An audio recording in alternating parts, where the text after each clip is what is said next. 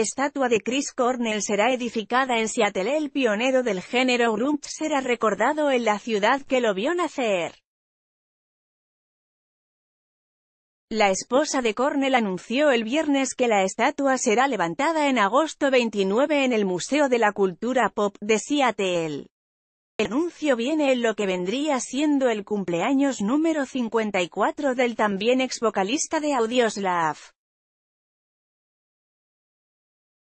Vicky Cornell le encargó al escultor Nick Marras que creara una estatua de bronce de tamaño natural de su difunto esposo, así como con los detalles que lo caracterizaban, sus botas firmadas y sus largos mechones de cabello.